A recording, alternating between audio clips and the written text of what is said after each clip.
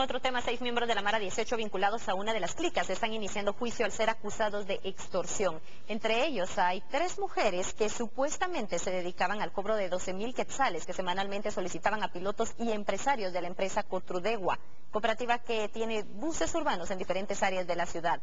Según la defensa, está solicitando que a uno de los sindicados se les retire el cargo de asociación ilícita, pues ya está cumpliendo condena en el centro Fraijanes 1. El juicio esperan tenga una duración de aproximadamente mes y medio.